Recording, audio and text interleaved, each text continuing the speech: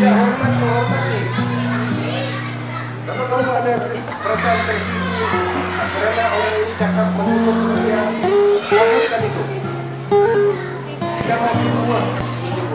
Kalau kita tidak berubah hancurlah sekolah ini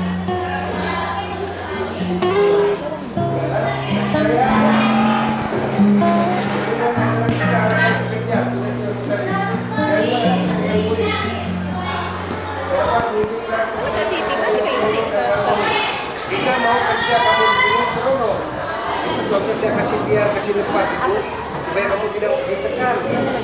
Tapi jangan kesempatan.